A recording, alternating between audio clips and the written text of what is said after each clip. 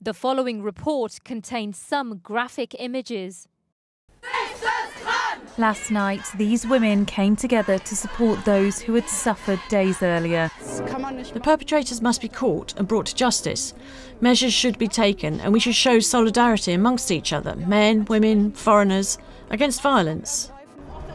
Starting on the square in front of Cologne Cathedral, hundreds then made their way through the city where dozens of women were sexually harassed, assaulted, and mugged on New Year's Eve. Jenny had a firecracker put into her jacket, then her phone stolen. Dann habe ich ein Zischen gehört in meiner Kapuze. Then I heard a sizzling sound in my hood, and I somehow tried to get it out of my hood. Then it fell into my jacket and burned everything. The scars will stay. I was lucky that it didn't explode. My mobile phone was gone afterwards.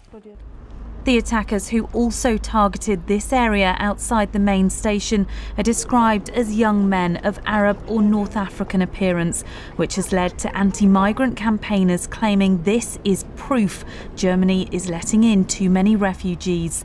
One woman who was there, though, said they looked like regular pickpockets, and leaders are urging people not to come to foregone conclusions, but say they're taking swift action. This morning, we developed measures which should prevent such incidents in the future.